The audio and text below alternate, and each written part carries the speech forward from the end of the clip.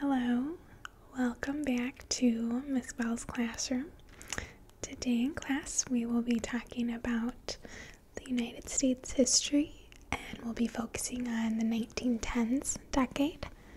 So, to begin, I'm going to start talking about the 1910s with the presidents and who was president. Um, William Taft started out in the 1910s as president and was president until 1913. After leaving the presidency, Taft did not want to retire. He took a job as a law professor at Yale at Yale University. Then in 1921, he finally got his dream job when President Warren G. Harding appointed him to the Supreme Court as Chief Justice. Taft really enjoyed working on the Supreme Court. He is the only president to also serve as a Supreme Court Justice. So after Taft, Woodrow Wilson then became president in 1913. So here is a picture of Woodrow Wilson.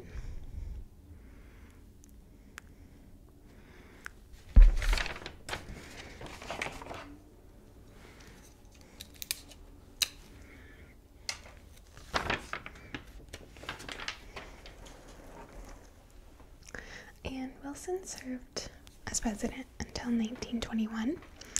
Does anyone know what bill Woodrow Wilson is on? You've probably never seen one of these. Yes.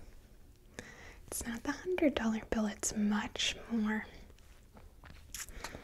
It's not the 50, it's more than the 100. Yes. A thousand, it is actually the hundred thousand dollar bill. Here he is on their hundred thousand dollar bill. Cool is that? Raise your hand if you would like to have one of these. Yeah.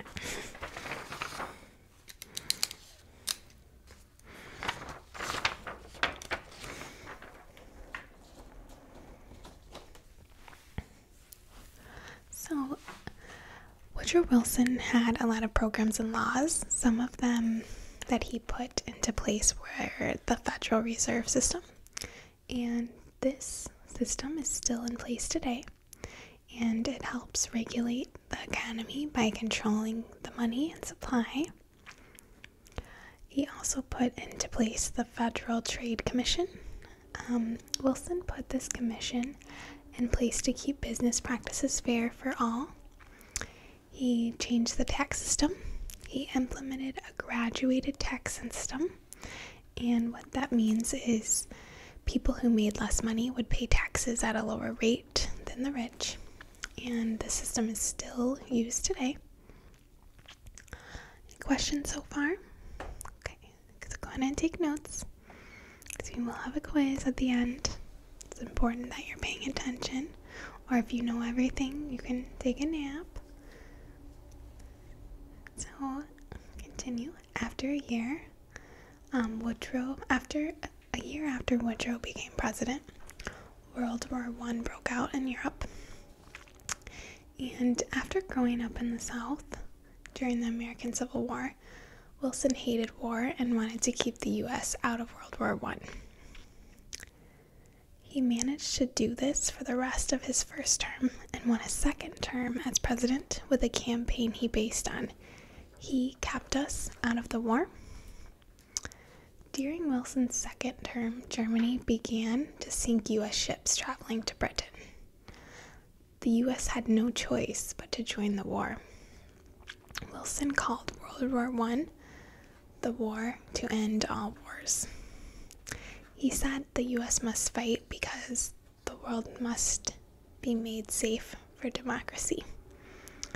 He had the idea for a League of Nations. This would be a group of countries that helped to negotiate disputes and try to keep peace in the world.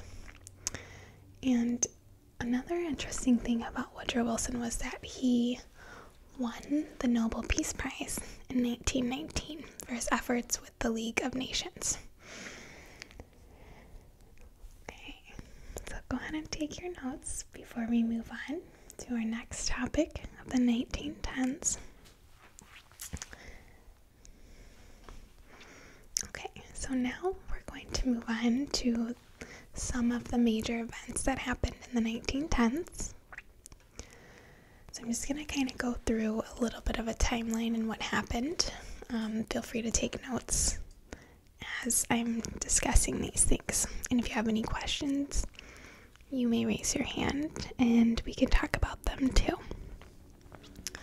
So, to start off the 1910s decades, in May 1911, Standard Oil was declared an unreasonable monopoly by the United States Supreme Court and ordered dissolved under the powers of the Sherman Antitrust Act.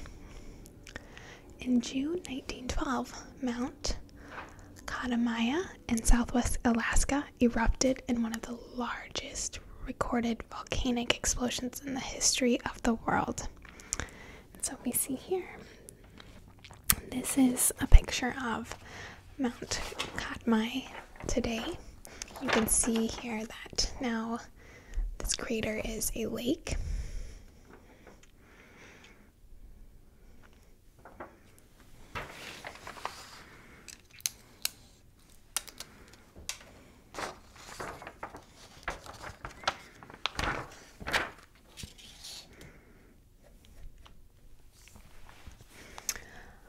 Um, in August 1912, the United States Marines were deployed to Nicaragua, Nicaragua due to its default on loans to the United States and its European allies.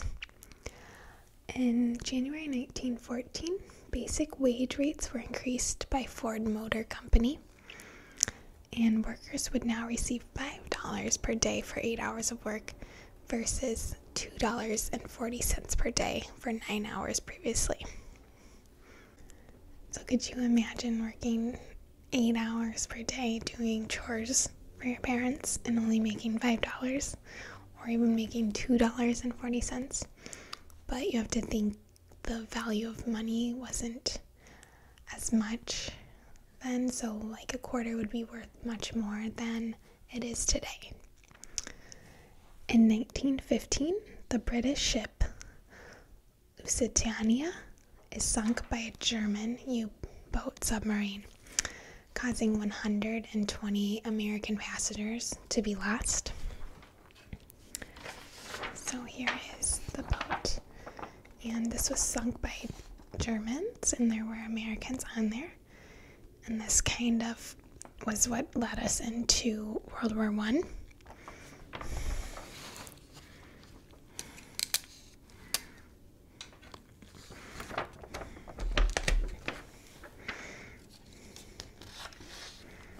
So, Germany, although it warned of the pending crisis to passengers itself, an apology to the United States, and promised payments, this led to the United States turning against Germany and causing the US to get involved in the war.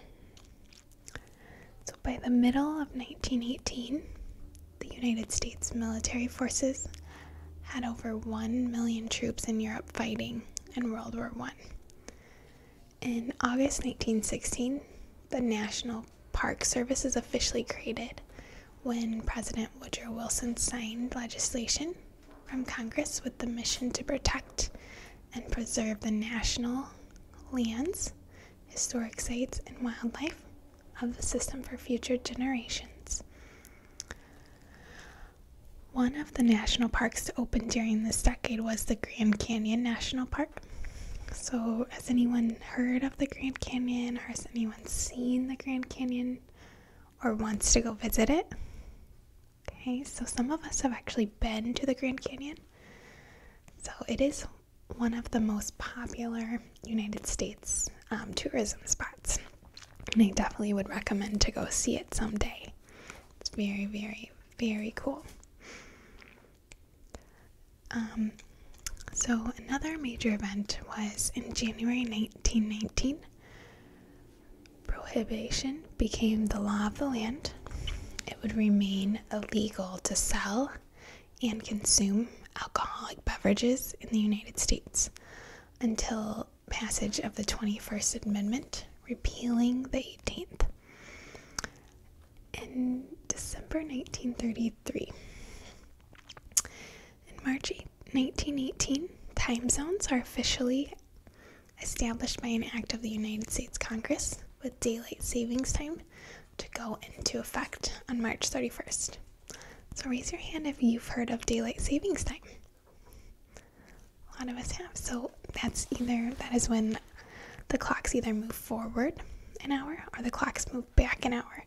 So we should be having daylight savings time very soon when our clocks will spring forward. Okay, so another very tragic event that happened was in August 1918. The influenza epidemic, the Spanish flu, spans the globe, killing over 20 million people worldwide and around 548,000 people in the United States.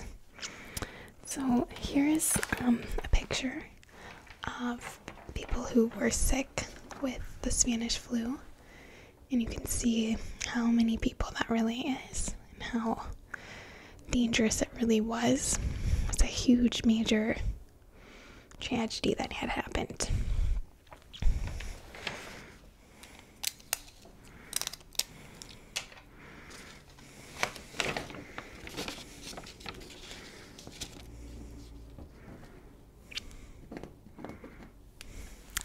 Questions so far?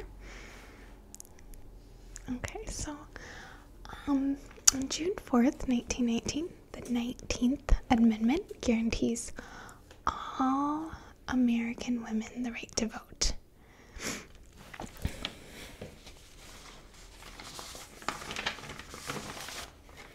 So you see here, women were picketing and they wanted their rights to be able to vote, and they eventually got that, holding up votes for women. And that really um, influenced the 20th century a lot too, which we'll get to soon. Or the 1920s, I should say. Okay, so any questions so far? Okay, so let's move on to fashion. Um, women's fashion was characterized by fluid, soft silhouettes, big hats, and short hair. Dress length came up from the floor to above the ankle. Oftentimes, women wore a tunic over a long skirt. Skirts were widest at the hips and became narrow at the ankle. Shoes had high curved heels, and women often wore boots during the day and changed into a court shoe in the evening. Raise your hand if you wear sneakers or tennis shoes. So, a lot of us do. Those were invented in 1917, so over a hundred years ago. So, here are some examples of women's fashion. We can see that they're wearing very long skirts or long dresses, and then there's also like a tunic that goes dresses. They've got lots of hats here, it's very fashionable.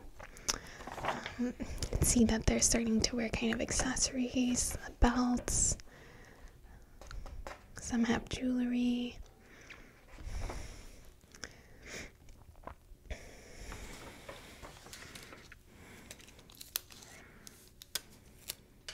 Also, their curved heels they have there.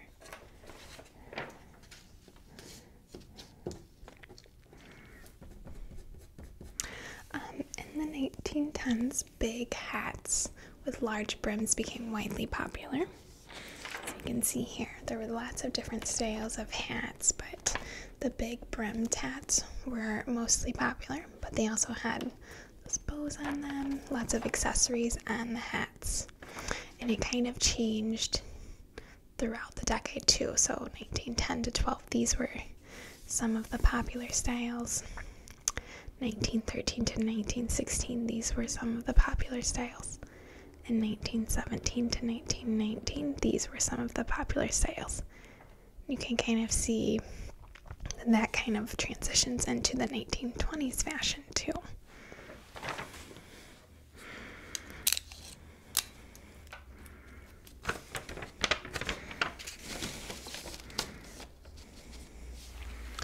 Okay, so so far? Okay, so um, next we're going to talk about women's um, swimwear and men's. So, women's swimwear was very conservative, extending down to the mid thigh. And so you see here, and then some of them even wore like leggings while they were swimming. Um, usually, the more conservative women wore the leggings um, with these already very modest swimsuits.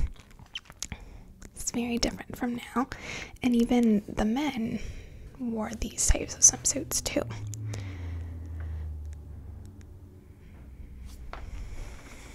They were very, very conservative.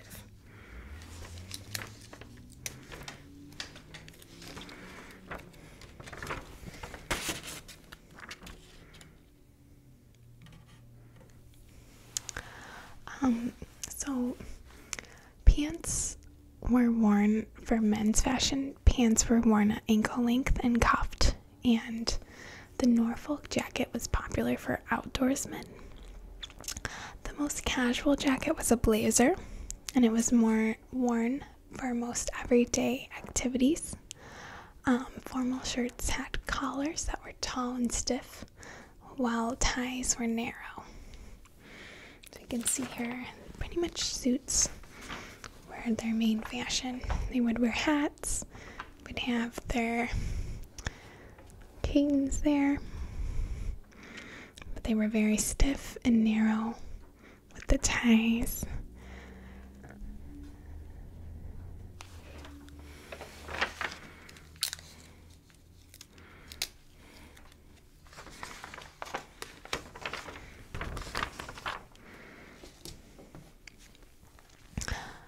Okay, so any questions so far about what we've talked about? Okay, so now we're gonna kind of move on to the cultural part with movies and music. Um, there was a lot of development for the movies and music during this decade. Um, so, starting in the 1910s, there was very little technology to help produce music. Most music was performed live in vaudevilles. At vaudevilles, live entertainment consisted of stand up comedy, musical performances, and dance routines. So, because there were no speakers, many of the musicians resorted to loud music that would project throughout big theaters. And it was not until the invention of the microphone in the 1920s that this would change. Raise your hand if you have a guess of what music genre you think was the most popular. We kind of talked about this in the 1900s. Yes. Yes, it is jazz music. So, jazz music was very popular in this decade. Um, by 1910, jazz music had become popular, very, very popular in New Orleans. Later, a number of different jazz genres appeared throughout the country with very distinct regional variations. And jazz was very highly influential during this popular time, um, and it's even very popular in modern forms today. Um, this is in regarding movies. This is the decade when the movie making shifted from New York to Hollywood because of the better outdoor weather for filming. And movies were very, very short. They were typically around 15 minutes. And they were called one reelers. They could film a movie in one reel.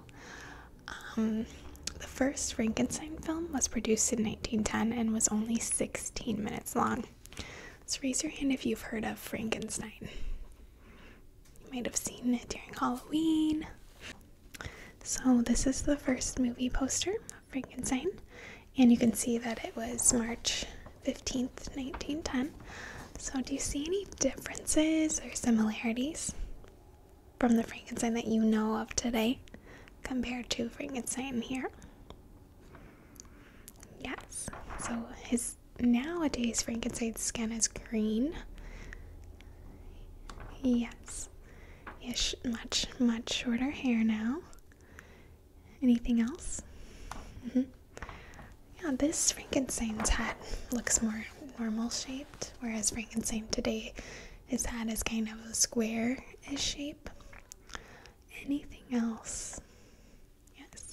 His neck has, mm, it's almost like that cut with the stitches on it. Yeah. So Frankenstein looks very, very different, but the original Frankenstein was created almost hundred years ago.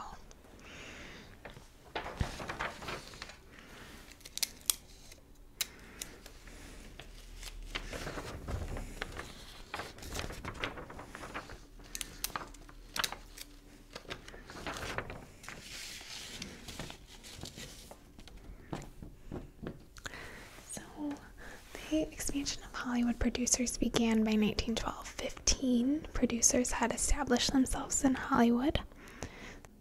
So, now let's move on to sports. In May 1911, the India- Indianapolis 500 auto race is run for the first time in Indianapolis, Indiana. The race is won by Ray Harroun and the Marmon Wasp. And there was a lot for sports, so now let's move on to immigration. In 1910, a massive wave of immigration by African Americans within the United States began. It was known as the Great Migration.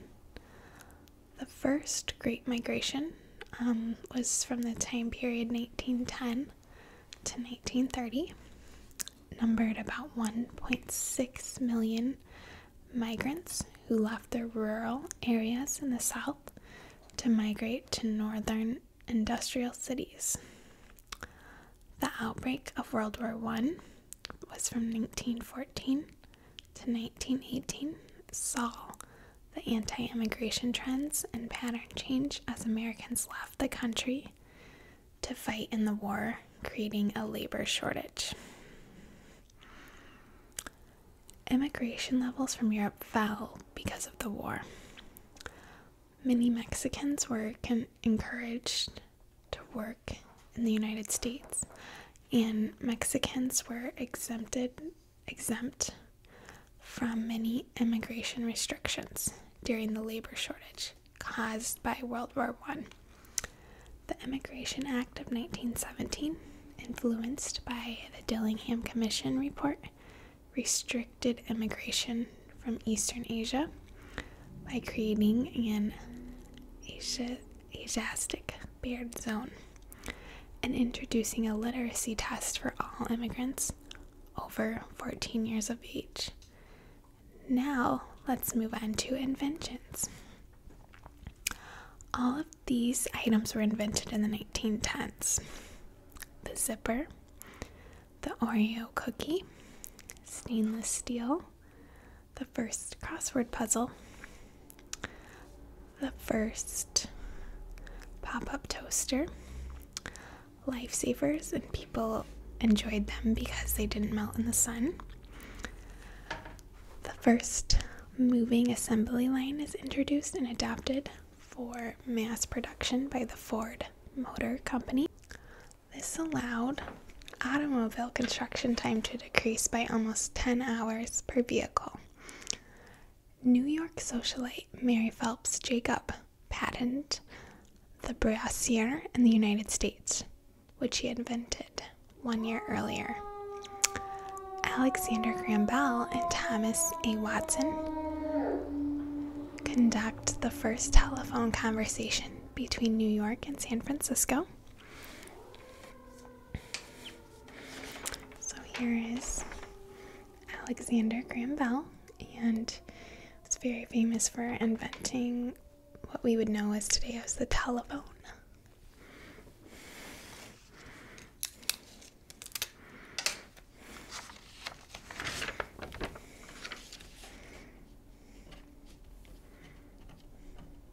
Okay, so now we are going to talk about some other interesting facts.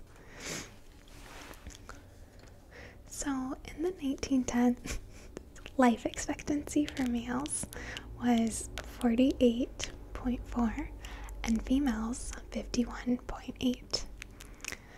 Um, also, the traffic light first came out with the colors red, orange, and yellow, but no one could tell the difference. So they had to switch up those colors. In the 1910s, the population was about 92 million, and divorce rates were one out of a thousand couples would get a divorce. Milk in the 1910s cost about 32 cents per gallon, and the average salaries for males was 750 a year and 600 a year for females. So that is all the information I have. It is now time for the quiz. Please take out your notebooks and write 1 through 10. Okay, please write your name on your quiz and write 1 through 10. Okay, raise your hand if you're not ready yet. Okay, so number one How many people died from the Spanish flu worldwide? So, not in the United States, how many people died from the Spanish flu worldwide? Number two, when did World War One end?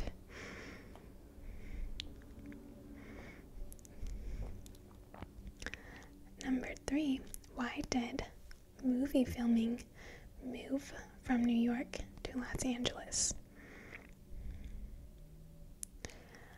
Number four, by 1912, how many producers were in Los Angeles? Number five, who were the two presidents of the 1910s? Number six, name one invention from the 1910s. Number seven, what was women's fashion like in the 1910s? You can use this as a clue.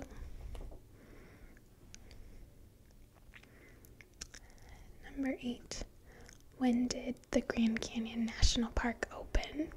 What year?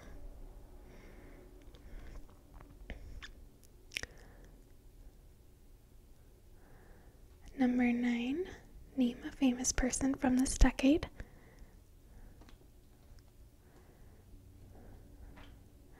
Number 10, why did the US get involved in World War One? Number 11, list one fact you learned about the 1910s and share it in the comments. Okay, does anyone need me to repeat any questions? Okay.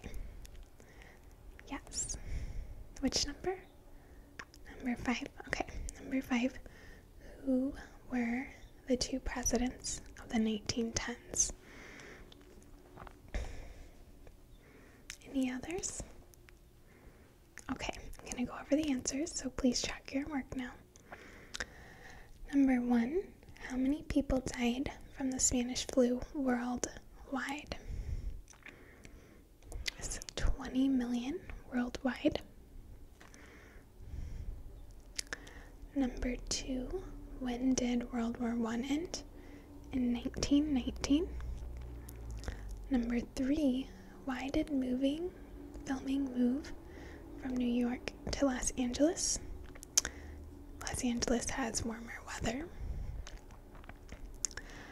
Number four, by 1912, how many producers were in Los Angeles? Were 15. Number five, who were the two presidents of the 1910s? William Howard Taft and Woodrow Wilson. Number six, name an invention from the 1910s. You could have said Oreo, gas masks, street lights, stainless steel, crossword puzzles, pop up toaster. Number seven, what was women's fashion like in the 1910s? Could have said fluid, soft silhouettes, big hats, and short hair. Dress length came up from the floor to above the ankle. Oftentimes, women wore a tunic over a long skirt. Skirts were widest at the hips and became narrow at the ankle. Shoes had high, curved heels. Women often wore boots during the day and changed into a court shoe in the evenings. Number eight, when did the Grand Canyon National Park open? 1919. Number nine, name a famous person from this decade. Could have said Henry Ford, Woodrow Wilson, William Taft. Number 10, why did the US get involved in World War One? It's because of the American passengers lost on the ship here. Number 11 varies. Okay, so thank you for learning about the 1910s today. I hope that you learned a lot of information and you're able to relax. Good night.